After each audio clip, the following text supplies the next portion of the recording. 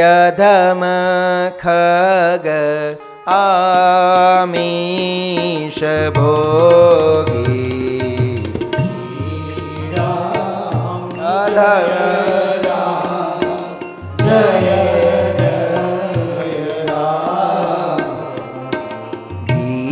ગીધધમ ખગ આમીશ ભોગી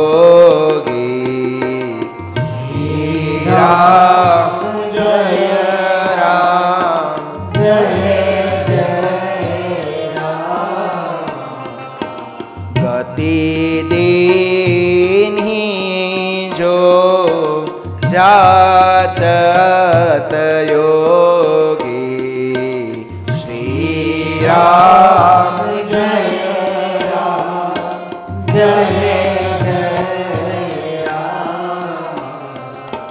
ગતિ દીન્હી જો જાચત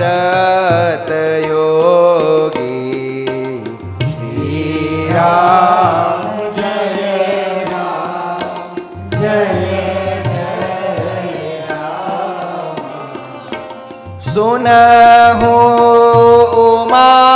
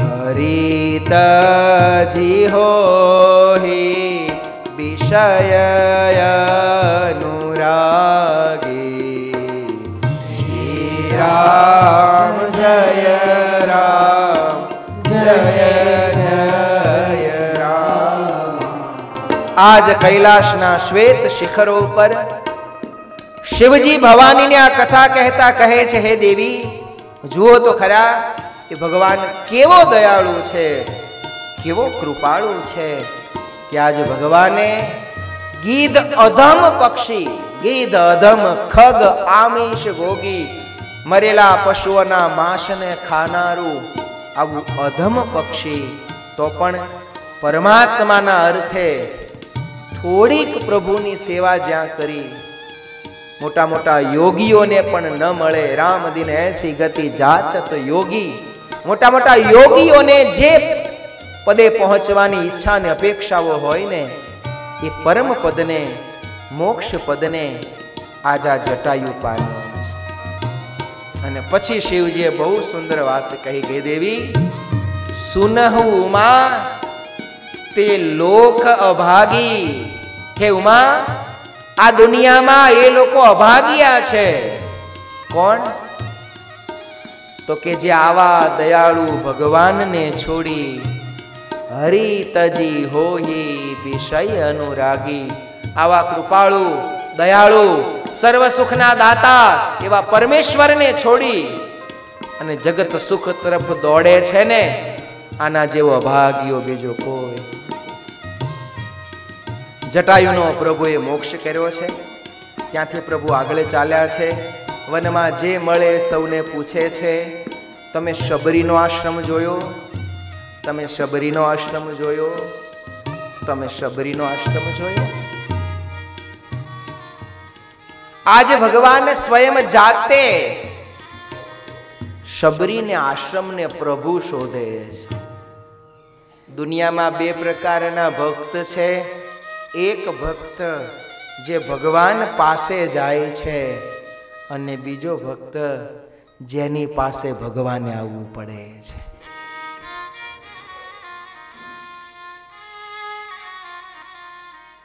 ભક્તિની પરાકાષ્ઠા એ છે કે જ્યારે ભક્તિથી ભગવાન દોડતો આવે આ દુનિયામાં કરોડો મનુષ્યો છે. મારી તમારી જેવા કે જે ભગવાનને ભજે છે, ભગવાનનું ભજન કરી કરી અને ભગવાનના ધામને પામી જાય. છે એમાં કઈ બહુ મોટી વાત નથી. પણ મોટી વાત તો એ થાય કે જ્યારે ભક્તિ એ ભજન એનું એ ઉચ્ચ કક્ષાને પામે કે એણે ભગવાન સુધી ન જવું પડે, ભગવાને એની પાસે આવવું પડે. આવી ભક્તિ જ્યારે થાય ને, ત્યારે ભક્તિની ગાથાઓ યુગો સુધી ગવાય છે. મહારાષ્ટ્રમાં દાદુ નામે સંત થયા, દાદુ દયાલ નામે ઓળખાયા. એક જ કામ રામ નામ નો જાપ. નિત્ય નિરંતર સદા રામ રામ રામ રામ રામ નામનો જાપ કર્યા કરે. જે કોઈ એમની પાસે આવે, ગુરુદેવ શું કરવું હરિ ભજો ગુરુદેવ, મારા ઘરમાં રોગ છે, હરી ભજો.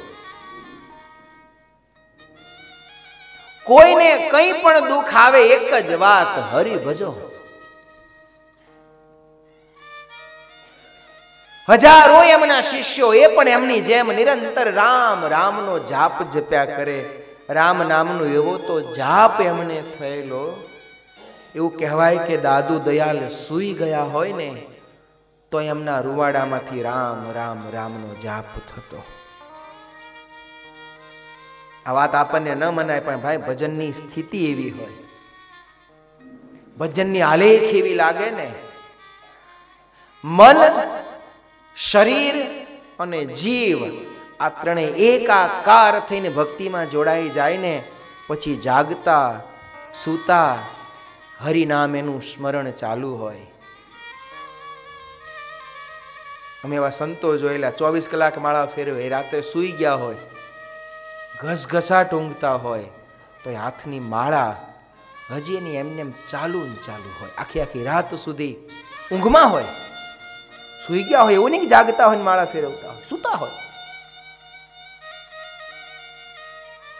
પણ મન એવું ભગવાનમાં એકાકાર થઈ જાય, જેમ શ્વાસ લેવા માટે આપણે જાગવાની જરૂર નથી પડતી. શ્વાસ આપણો સહજ થઈ જાય એમ ભક્તિની કક્ષા આવે, સાધના કરતા, ભક્તિ કરતા, ભક્તિ એટલી સહજ થઈ જાય ને કે એને પછી શ્વાસે શ્વાસે હરિનું રામ જપાય. દાદુ નિરંતર રામ રામ રામ રામ, રામનો જાપ કર્યા કરે. વર્ષો થયા, હજારો શિષ્યો ગુરુના માર્ગે ચાલી સૌ રામનું ભજન કરે, પણ એક દિવસ આશ્ચર્ય થયું, દાદુએ રામ નામ લેવાનું બંધ કરી દીધું. હાહાકાર થઈ ગયો. આખી જિંદગી જેણે લોકોને રામના નામ લેવડાવ્યા. એ દાદુએ નામ નથી લેતા. આશ્ચર્ય થયું. હજારોનું ટોળું ભેગું થયું. ભેગા થઈને સૌએ પૂછ્યું કે, મહાત્મન, ગુરુદેવ, થયું શું? આપ કેમ ભજન બંધ કરી દીધું? ત્યારે દાદુએ જવાબ બહુ સરસ આપ્યો. માલા જપો ન કરે જપો. અરે જીહવા જપો ન રામ. હું માળા નથી જપતો, કરમાળા નથી જપતો. જીભથી પણ હવે હું રામનું નામ લેતો નથી. માલા જપો ન કરે જપો જીવા જપો ન રામ. સુમિરન મેરા હરી કરે અબ મેં પાવા વિશ્રામ દાદુ કઈ આખી જિંદગી મેં રામ રામ રામ કર્યું, પણ હવે રામ બેઠો બેઠો દાદુ દાદુ દાદુ દાદુ કરે છે.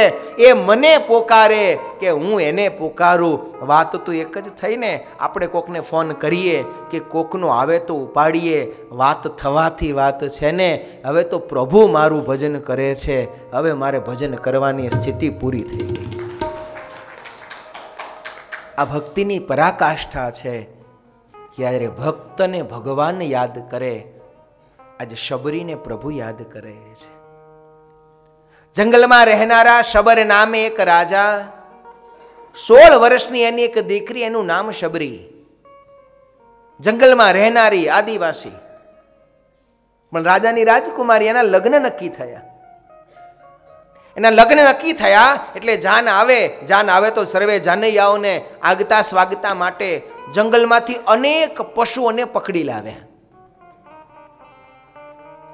સોળ વર્ષની શબરીએ આ હજારો પશુઓને, મૂંગા પશુઓને જોયા, આંખમાંથી આંસુ જાય. શબરીના અંતરમાં દયા આવી. પિતાને પૂછ્યું, પિતાજી, આ બધા પશુ આટલા બધા કેમ? પિતાએ કહ્યું, બેટા, તમારા લગ્ન છે. મહેમાનો આવશે. એને જમાડવા તો પડશે ને. આ બધા પશુઓને મારી અને એનું ભોજન મહેમાનોને પીરસાશે. તો શબરી ધ્રુજી ગયા, મારા માટે થઈ અને હજારોનો નાશ. શબર રાજા, કે તને બધી ખબર ન પડે, તું નાની છે આવતું આવું તો ચાલ્યા કરે. નાનકડા એવા શબરીના મનમાં વિચાર આવ્યો કે એક મારા પરણવા માટે થઈ અને હજારોને મરવું પડતું હોય તો મારે પરણવું નથી. પિતાને ના પડ્યું, તો મારે લગ્ન નથી કરવા. ખાલી મારે લગ્ન કરવા છે એટલા માટે થઈને હજારોને મરવું પડે. આ તો કેટલું મોટું પાપ. શબરે રાજા કે નથી કરવા એવું ન ચાલે, લગ્ન તો કરવા પડે. શબરીએ મનમાં વિચાર કર્યો, મારા પિતા મારી આગળ મારી કોઈ વાત માનશે નહીં. રાત્રિના સમયે શબરી ઘર છોડી ભાગી નીકળી. અંતરમાં એક જ વિચાર છે કે મારે હજારો પશુઓને મરવા નથી દેવા. રાજાની રાજકુમારી રાજમહેલ થોડી જંગલમાં ભાગી. એક મૂંગા પશુઓનો જીવ બચાવવા. આ શબરીની કથાની શરૂઆત અહીંથી છે. ખાલી એઠા બોર એમને રામ કોઈના નથી ખાતા. જેના અંતરમાં આટલી ઉચ્ચ ભાવના હોય કે એક મારા લગ્ન માટે થઈને હજારોને મરવું પડે. એવું મારે નથી કરવું. એ સોળ વર્ષની શબરી ઘર છોડીને ભાગી, રાજમહેલ છોડ્યા, સુખ વૈભવ છોડ્યા. ક્યાં જઈશ? શું કરીશ? શું ખાઈશ? ક્યાં રહીશ? કંઈ ખબર નથી. બસ ભાગી નીકળી છે. મને એમ છે કે સવારે પડશે, મારા પિતાના સૈનિકો મને શોધવા આવશે. જો મને જોઈ જશે, પરાણે પકડીને પાછી લઈ જશે, પાછી લઈ જશે તો મને પરણાવશે અને મને પરણાવશે તો હજારોને મરવું પડશે. ભાગે છે. ભાગતી ભાગતી ભાગતી શબરી પંપા સરોવરના કિનારે આવી. બચવા માટે એક વૃક્ષ ઉપર સંતાણી. સવારનો પોર થયો. સબર રાજાના સૈનિકો ઘોડા લઈને નીકળ્યા. ચારે બાજુ શબરીને શોધી. શબરી વૃક્ષ ઉપર બેઠી બેઠી થથરે છે. નીચે જ ઘોડા ફરે છે. જો મને જોઈ જશે તો મને પકડી જશે. પ્રભુને મનોમન પ્રાર્થના કરે, પ્રભુ મારી રક્ષા કરજો. ભગવાનનું કરવું શબરીને કોઈએ જોઈ નહીં. ચાર દિવસ સુધી સૈનિકોના ઘોડા ફરતા રહ્યા. શબરી ચાર દિવસ સુધી ભૂખી તરસી ઝાડ ઉપર રહી. પાંચમા દિવસે પછી બધા ઘોડા આવતા બંધ થયા. શબરીને થોડી શાતાવળી, પણ મનમાં હજી બીક છે, હું નીચે ઉતરીશ, કોઈ મને જોઈ જશે, મારા પિતાને ખબર પડશે, મને લઈ જશે, વૃક્ષ ઉપર રહે છે, રાત પડે, નીચે ઉતરે, થોડું પાણી પીવે, થોડા ઘણા ફળ મળે તો ખાઈ લે, જીવ બચાવવા સંતાઈને ઝાડ ઉપર રહે. પણ આજ પંપા સરોવરના કિનારે મતંગ નામના એક મુનિ રહે છે. એ મુનિ દરરોજ પોતાના શિષ્યો સાથે સવારમાં આશ્રમથી નીકળે, પંપામાં સ્નાન કરવા આવે. આ દ્રશ્ય શબરી દરરોજ જોવે. મનમાં થયું, આવા મહાત્મન છે. લાવો એની સેવા કરું. એટલે શબરી દરરોજ મતંગ મુનિ પોતાના આશ્રમથી નીકળે. એ પહેલાં વહેલી નીચે ઉતરે. પંપા સરોવરથી મતંગ મુનિના આશ્રમ સુધીનો રસ્તો દરરોજ પોતાના હાથથી સાફ કરે. જંગલમાં કાંટા કાંકરા પડ્યા હોય, હાથમાં એની ઈજા થાય, શબરીને એની પીડા નથી, ઋષિની સેવાનો આનંદ છે. મતંગ મુનિ આવ્યા, જોયું આખો રસ્તો સુંદર સ્વચ્છ જોયો. મુનિના મનમાં એમ થયું, આટલા બધા ચેલા છે ને, એકાદાએ કર્યો હશે. પછી રોજનો ક્રમ થઈ ગયો. એક દિવસ સબરીનું સૌભાગ્ય કે આ કાં તો શબરી મોડી પડી, કાં તો મતંગ મુનિ વહેલા નીકળ્યા, પણ હાથથી રસ્તો સાફ કરતી કરતી કરતી શબરી જે આશ્રમે પહોંચીને ત્યાં તો મુનિ સામે આવીને ઊભા. ડરીને શબરી ભાગી. મુનિએ બૂમ પાડી દીકરી. દીકરી શબ્દ સાંભળ્યો.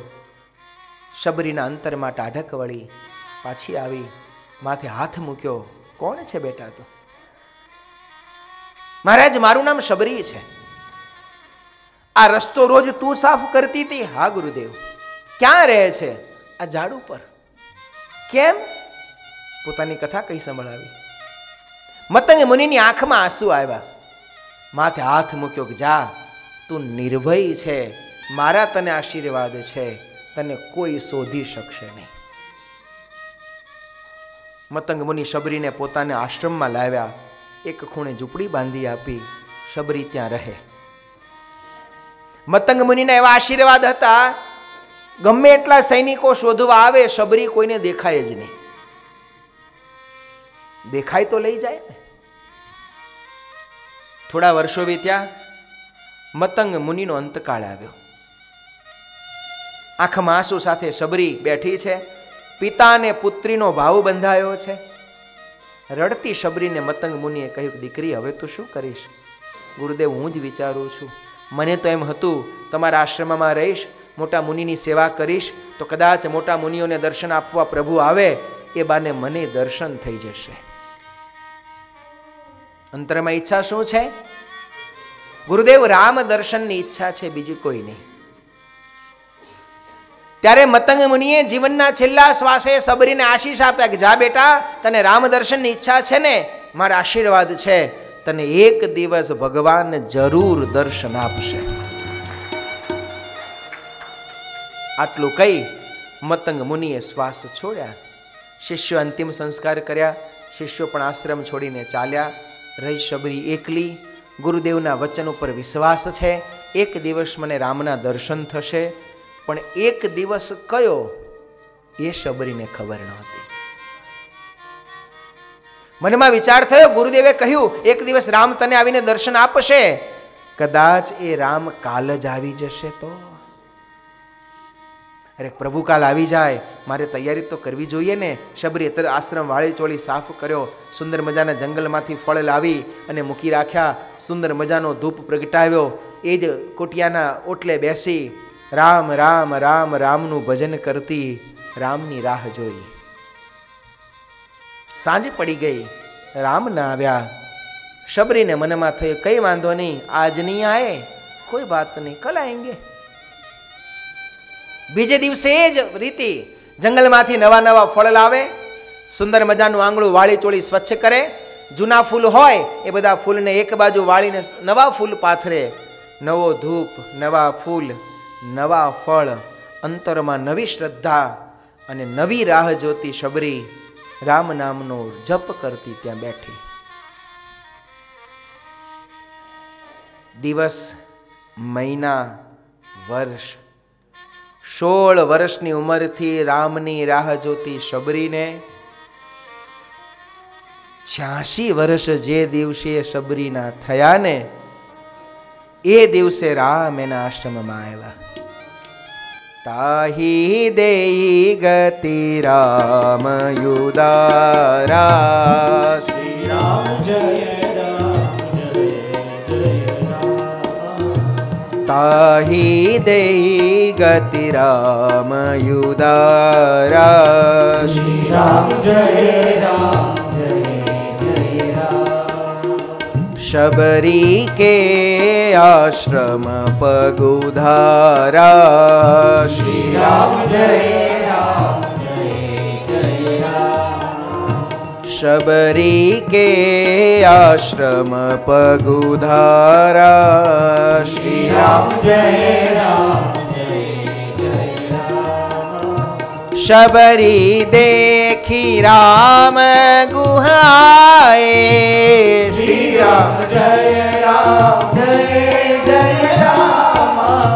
शबरी देखी राम गुहाए। श्री राम जय राम, जय जय राम। मुनि के बचन समुझी जिय भाए। श्री राम जय राम। બચન સમુજી જીય ભાઈ શ્રી રામ જય રામ શબરીના આશ્રમમાં આજ રામ આવ્યા શબરીના આનંદનો કોઈ પાર ન રહ્યો પ્રભુને જોયા શબરી સામે દોડી ભગવાન સામે દોડ્યા શબરી પ્રભુના ચરણમાં ઢગલો થઈને પડી પ્રભુ વર્ષોથી આપની રાહ જોતી હતી આજ આપે મારી રાહને પૂર્ણ કરી પ્રભુને આશ્રમમાં બેસાડ્યા. સુંદર મજાના બોર શબરીએ પ્રભુને જમાડ્યા. પણ શબરીના મનમાં એમ કે આ જંગલના બોર કયું ખાટું, કયું મીઠું, એની શું ખબર પડે? એટલે શબરી બોર ખાતી જાય, ખાટા હોય ફેંકતી જાય, મીઠા હોય પ્રભુને આપતી જાય. અને આ જ પરમાત્મા પ્રેમનો ભૂખ્યો પરમાત્મા છે ને, એક શબરી ભીલડીના મુખના હેઠા બોર આજ પ્રભુ જમ્યા. પ્રભુ બોર જમતા જાય. લખનના મનમાં સંશય થાય. આવી ભીલડીના એઠા બોર આપણે થોડા ખવાય. પરમાત્મા લખમણમાં મનનો સંકલ્પ જાણી ગયા. કંઈક લખન લો. પ્રભુએ આપ્યા. પ્રભુએ આપ્યા પછી પ્રસાદી. કોઈ પણ વસ્તુ પ્રભુ વાયા થઈને આવે, એનું આગલું બધું પૂરું થઈ જાય. ભગવાનના હાથની મળી, પછી શબરીના એઠી રહે નહીં.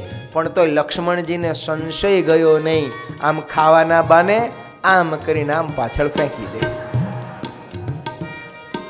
અંતર્યામી પ્રભુ સર્વે જાણતા હતા, શબરીના એઠા બોર આજ ભગવાને જમ્યા છે, માનસ કહે છે જાતિ, પાતિ ન ધર્મ બળાઈ કઈ જાત, કઈ પાત, કયો ધર્મ, કઈ જ્ઞાતિ, આ કોઈ વસ્તુ પ્રભુને અડતી જ નથી. ભગવાન તો એક પ્રેમ અને એક ભક્તિને વશ થઈ જાય શબરીની આંખમાં આંસુ આવ્યા. આંસુ સાથે પ્રભુને કહે છે, પ્રભુ, હું આવી અધમ, એમાં પણ એક ભીલ અધમ તે અધમ અધમ અતિ નારી, તિન્હમે મંદ મતી અઘારી અને ત્યારે ભગવાને શબરીને જે શબ્દો કહ્યા, એ શબ્દો ખાલી શબરીને નહીં હો, આખા જગતને કહ્યા કહ રઘુપતિ સુનુ ભામિની બાતા. રામ જય રામ. જય કહ રઘુપતિ સુન ભામિની બાતા શ્રી રામ જય રામ જય જય રામ કહ રઘુપતિ સુન ભામિની બાતા શ્રી રામ જય રામ જય જય રામ માનવ એક ભગતિ કરનાતા શ્રી રામ જય માનવ એક ભગતિ કરનાતા. શ્રી રામ જય રામ. જાતિ પાતિ ના ધર્મ બડાઈ. શ્રી રામ જય રામ. જાતિ પાતિ કુલ ધર્મ બડાઈ. શ્રી રામ જય રામ. ધન બલ પરિજન ગુણ ચતુરાઈ શ્રી રામ ભગવાન રામચંદ્રજી આજ શબરીને ભામીની કહ્યું, કેતા બેન કહ્યું બેન સાંભળ, જાતિ, પાતિ, કુળ, ધર્મ, ધન, બળ, સગા સંબંધી સંપત્તિ આ કોઈની સાથે મારે લેવા દેવા નહીં. મારે તો એક ભક્તિ સાથે લેવા દેવા. જેના હૃદયમાં ભક્તિ છે, પરમેશ્વર પ્રત્યેનો સાચો પ્રેમ છે, પરમેશ્વરના ચરણમાં સાચી નિષ્ઠા છે, પરમેશ્વરના ચરણમાં જેની સાચી શરણાગતિ છે, ગમે તે ધર્મનો હોય, ગમે તે વર્ણનો હોય, ગરીબ હોય કે તવંગર, પ્રભુ એ નથી જોતો. પ્રભુ તેના હૃદયનો ભાવ જોવે છે. અને બાકી બીજું બધુંય હોય. ધન હોય સંપત્તિ હોય પદ હોય પ્રતિષ્ઠા હોય માન હોય કીર્તિ હોય યશ હોય પણ ભક્તિ ન હોય તો ભગતિહીન નરે સોહઈ કેસા શ્રી રામ જય રામ જય જય રામ ભગતિહીન નર સોહઈ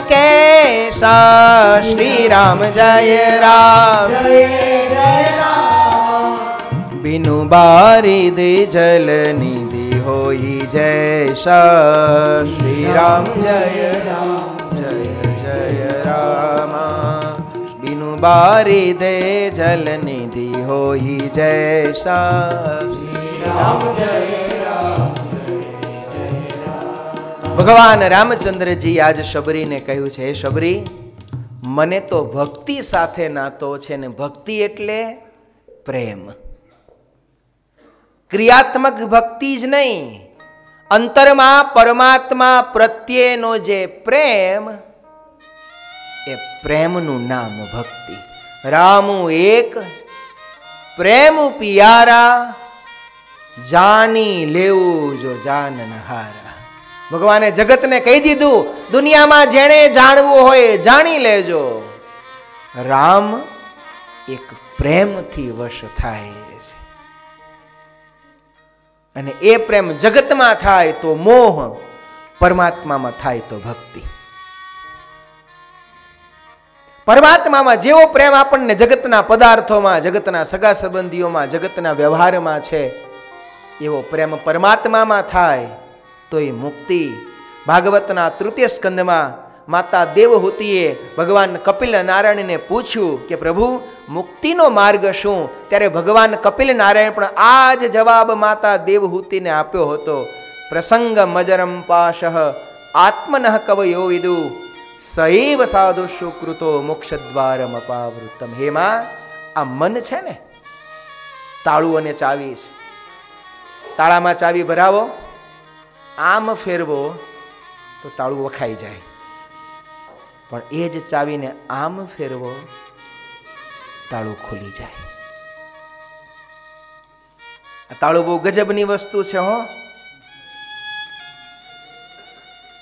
તાળું બહુ ગજબની વસ્તુ છે. યુધિષ્ઠિર મહારાજે જ્યારે આ મહાભારતનું યુદ્ધ જીત્યું ને, એ મહાભારતનું યુદ્ધ જીત્યા પછી એમને એમ હતું કે આપણું સામ્રાજ્ય નિષ્કંટક થઈ ગયું. હવે સુખે સુખ ભોગવીશું. નગર ફરવા ગયા ને તેમણે પહેલી વાર તાળું જોયું. તાળું જોયું એટલે ચમક્યા પેલા વેપારીને કે આ શું છે? પેલો વેપારી કે મારા તાળું છે. આ શું કામ આવે? તો કે કોઈ આપણી વસ્તુ લઈ ન જાય ને એક તાળું મારી દેવાય. યુધિષ્ઠિર રાજાને વૈરાગ્ય તાળામાંથી થયો હતો કે તાળું કળિયુગના આવવાની નિશાની છે. આ તાળું જોયું અને મહારાજ યુધિષ્ઠિર પરિવારની સાથે હિમાલયમાં ચાલ્યા ગયા. આ તાળું છે ને બહુ મજાનું જો, જેટલું મોટું ઘર હોય, એટલો મોટો દરવાજો હોય નહીં. જેટલો મોટો દરવાજો હોય, એટલો મોટોનો પેલો ભોંગળીઓ આંકડીઓ ન હોય. હવે તો ઓટોમેટિક થઈ ગયા, પણ પહેલાં તો સાદા આવતા.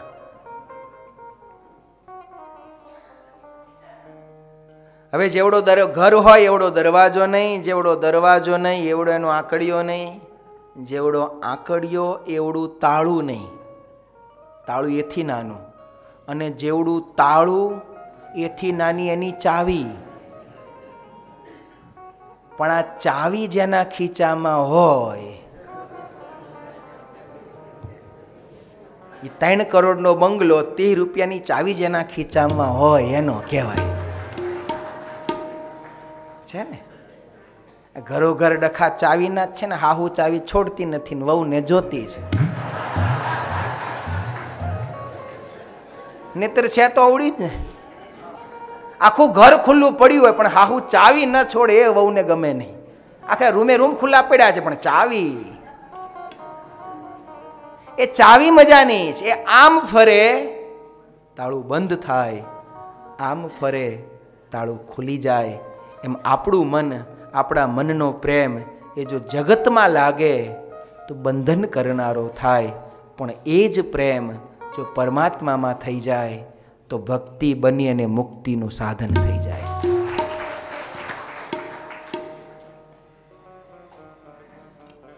આજ શબરીની ભક્તિને વશ થઈ અને ભગવાન એના આંગણે આવ્યા છે. શબરીની શ્રદ્ધાને વશ થઈને ભગવાન એના આંગણે આવ્યા છે. આપણે શ્રદ્ધા શબ્દ સાંભળ્યો છે બહુ, પણ શ્રદ્ધાનું મૂર્તિમંત દર્શન કરવું હોય ને, તો આ શબરી છે. શ્રદ્ધા રાખવી એટલે આ.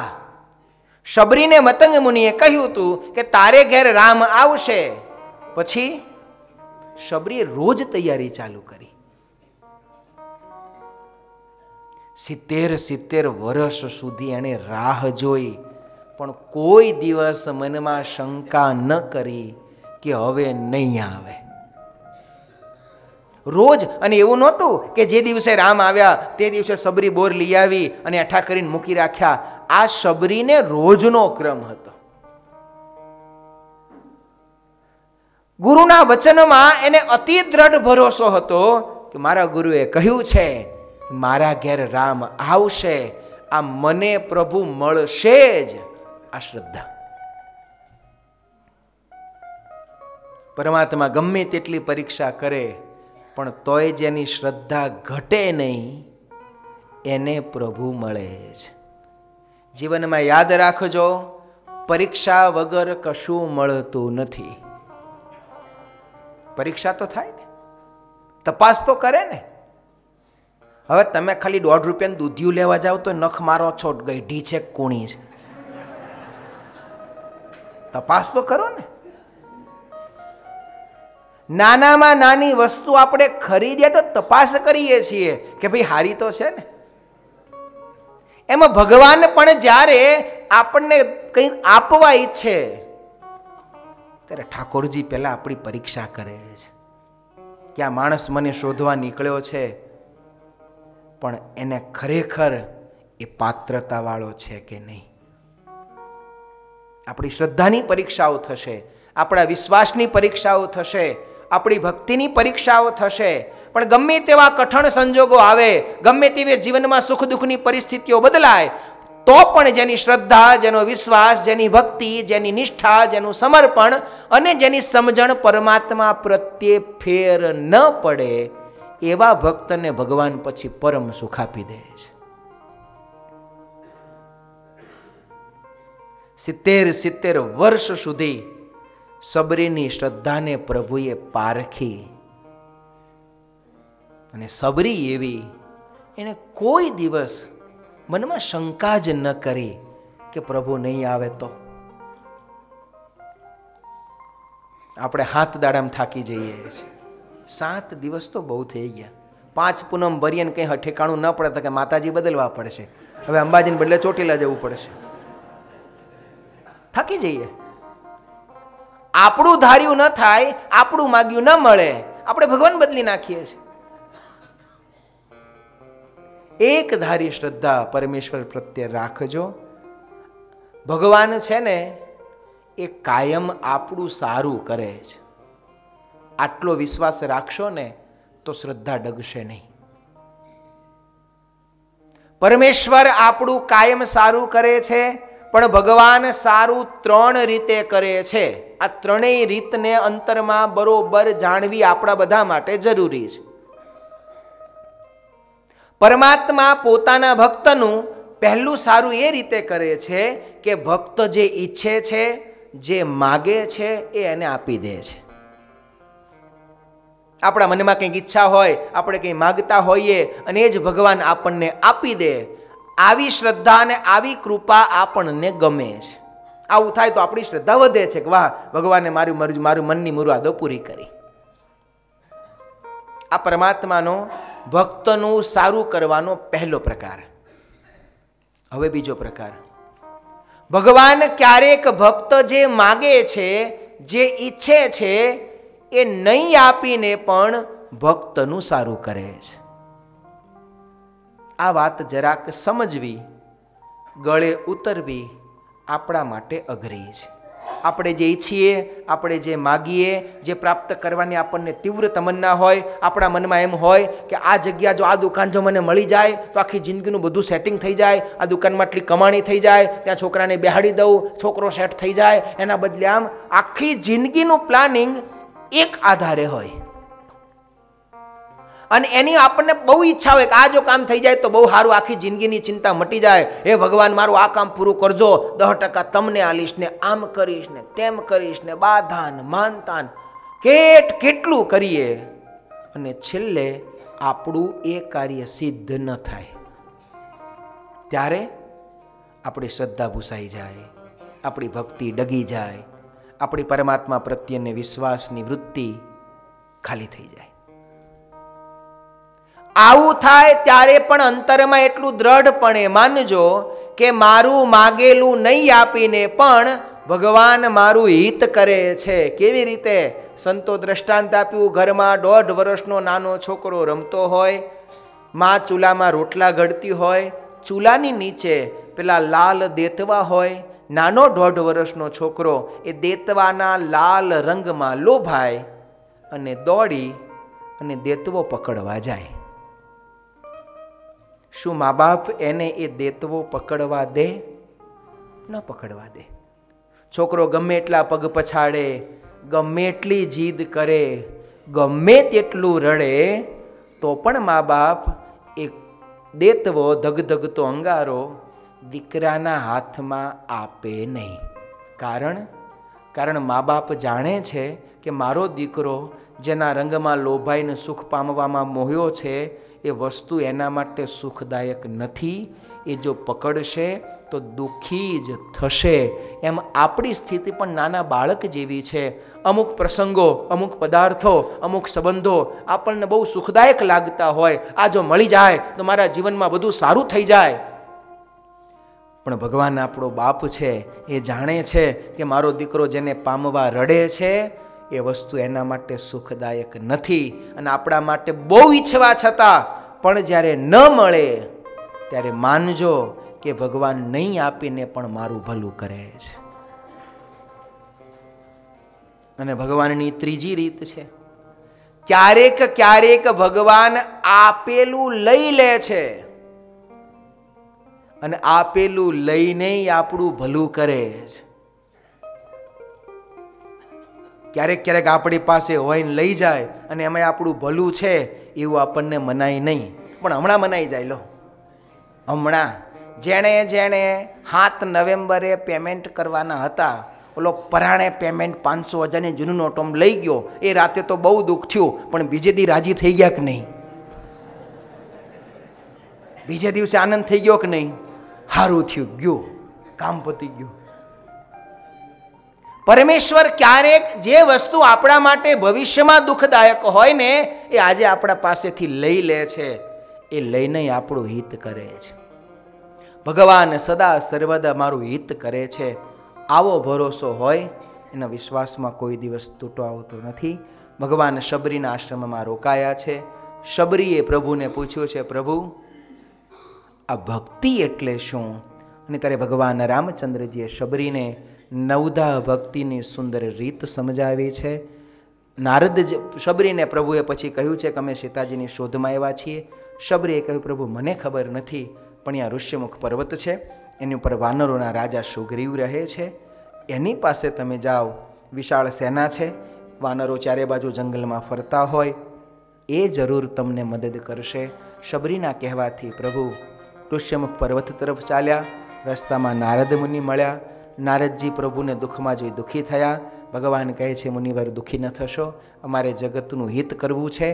અને અગ્નિએ જ્યારે બીજાની ઠંડી ઉડાડવી હોય, ત્યારે પોતે તપ્યા વગર બીજાને ઠંડી ઉડાડી શકાતી નથી. ધોકાએ, ટીપાયા વગર બીજાનો મેલ કાઢી શકાતો નથી. જેણે જગતને સુખ આપવું હોય, એણે પોતે થોડું દુઃખી થવું પડે છે. નારદજીને સમજણ આપી અને પ્રભુ ત્યાંથી આગળ ચાલ્યા છે. અરણ્યકાંડમાં છેલ્લી ચોપાઈ તુલસીદાસજી લખે છે રાવનારી જસુ પાવન ગાવહી સુનહી જય લોગ. રામ ભગતિ દ્રઢ પાવહી, બિનુ બિરાગ જપજો બીનું બિરાગ જપજો યે શ્રી રામચરિત માનસે સકલ કલિ કલુષ વિદ્વંશને અરણ્યકાંડી નામે તૃતીય સોપાન ભગવાન શબરીને એના સંકલ્પોને પૂર્ણ કરી ભક્તિનો ઉપદેશ આપી અને હવે પ્રભુ કૃષ્કૃંદા તરફ ચાલ્યા છે. કૃષ્કૃંદા પ્રારંભમાં પહેલી કથા. ભગવાન રામ અને લક્ષ્મણ પર્વતની તળેટીમાં છે. ઉપર પર્વતની ટોચ ઉપર વાનરાજ સુગ્રીવ બેઠા છે. પણ પોતાના ભાઈ પોતાના ભાઈ વાલીથી બીકના માર્યા બેઠા છે. નીચે બે શસ્ત્રધારી પુરુષોને જોયા. મનમાં મૂંઝવણ થઈ, એમ થયું કે મારા ભાઈ વાલીએ જ અમારી શોધ કરવા અમને મારવા કોઈ બેને મોકલ્યા હશે? એટલે સુગ્રીવે પોતાના મંત્રી હનુમાનજીને કહ્યું છે કે તમે જાઓ અને જઈ અને તપાસ કરી આવો. ક્રિષ્કિંદા કાંડના પ્રારંભમાં હનુમાનજીનો મંગલ પ્રવેશ જ્યારે થયો છે ત્યારે આવો કથાના અંતમાં છેલ્લે ભાવથી હનુમાનજી મહારાજની સ્તુતિ પ્રાર્થના કરી. આપણી કથાને આપણે વિરામ આપીએ.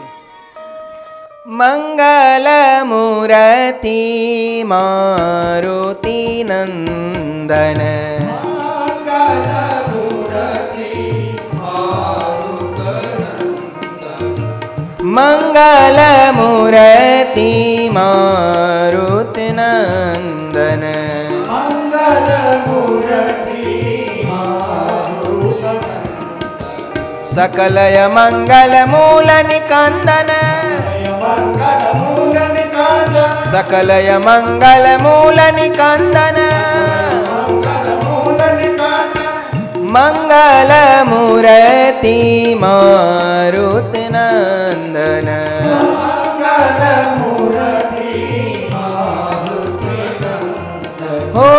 મંગલ મૂર્તિ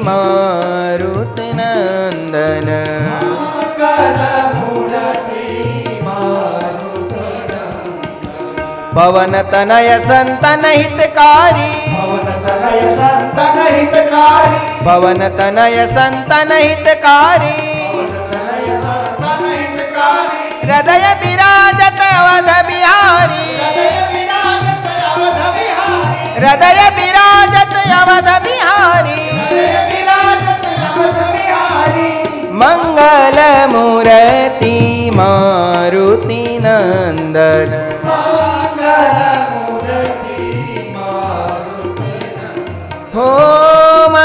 મંગલ મૂર્તિ મારુત નંદન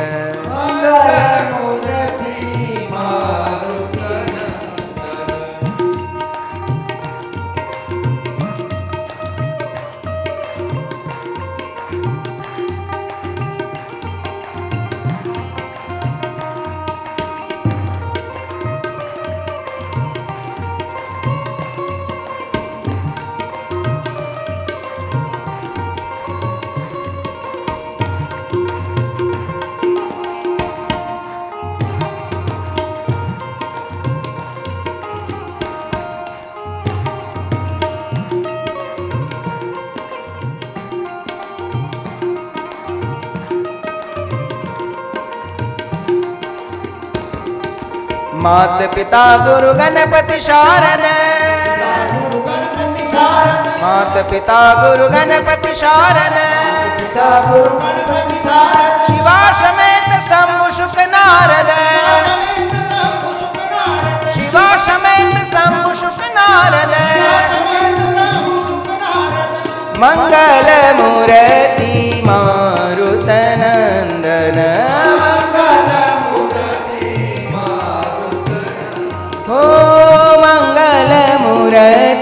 મારુતનંદન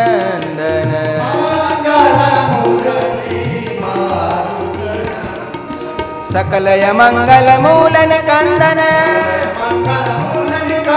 સકલય મંગલ મૂલન કંદન મંગલ મૂર્તિ મારુતિ નંદન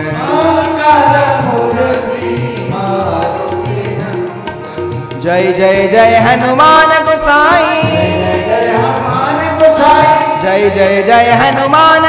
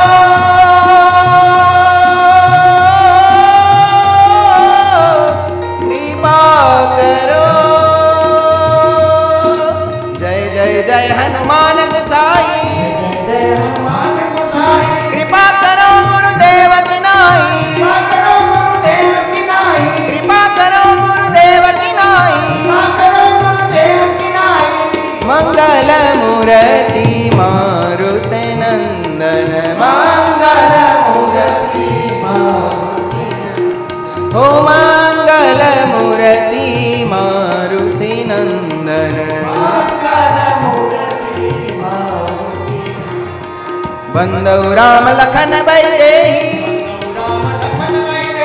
બંદવ રામ લખન વૈદેહી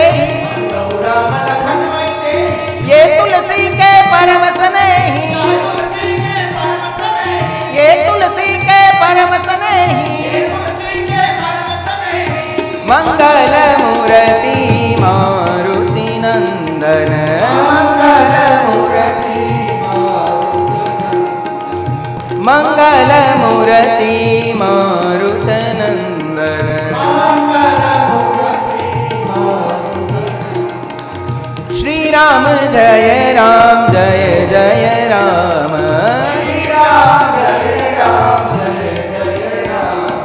શ્રી રામ જય રામ જય જય રામ. શ્રી રામ જય રામ જય જય રામ. શ્રી રામ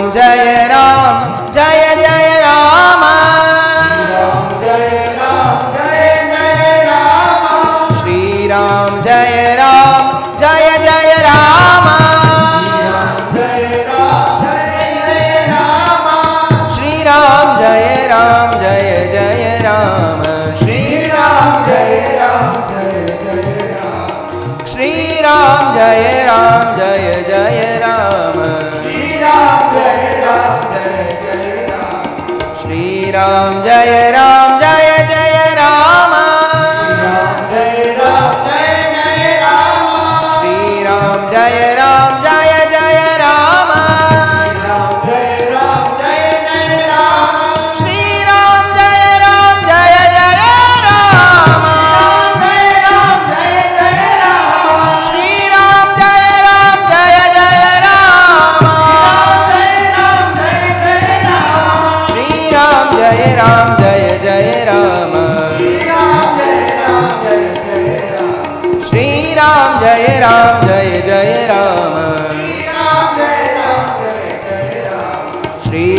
जाए रा